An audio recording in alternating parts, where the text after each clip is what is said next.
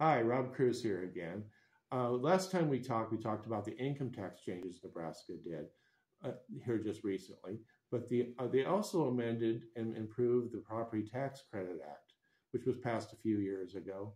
For those that are not familiar with that act, that's uh, it allowed a property tax credit on your state income tax return for a portion of your school of the school budget's property tax assessment. Uh, last year, that was at thir- that was at thirty percent, so it has grown a lot. A couple of thing, changes that uh, the uh, the state made is they did cap the amount of uh, to three percent the growth the amount of growth a school uh, uh, district can increase their property tax requests, and then they also eliminated the five percent cap on the growth of the credit. So that profit for those that always have always wondered where that money comes from, the state itself has a budget. That budget is limited to the three percent growth.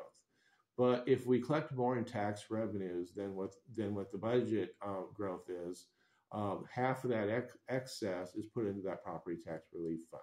That was the Property Tax Credit Act from a few years ago.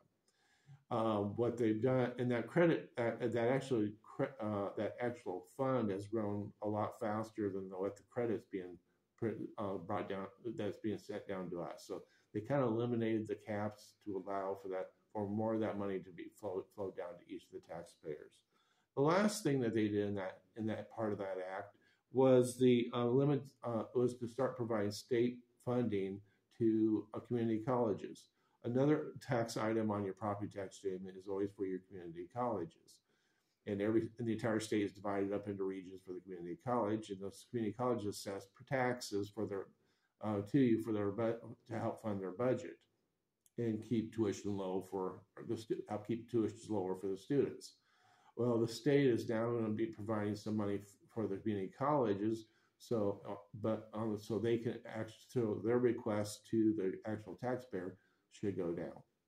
If you have any questions on this, or if you would like to uh, have any questions for Cruise and Associates, please feel free to contact us at 402-564-5827 or check us out on the web uh, at cruise-associates.com. Thank you.